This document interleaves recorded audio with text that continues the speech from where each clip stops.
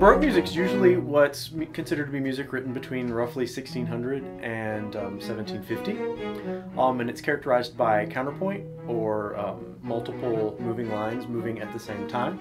That's also characterized by the rise of tonal harmony, so the major minor ideas that most of us have heard of. Um, the, the, system of harmony that was used in the Renaissance and Middle Ages uh, kind of died out, and the, the major minor system we know of today uh, came to be more important.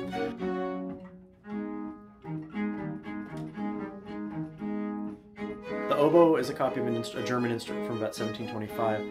The bassoon is a copy of, of a German bassoon from about, I think about 1710. Uh, and the strings look very similar, but you might notice the cello doesn't have an end pin. It just sits in the on the calves of the player.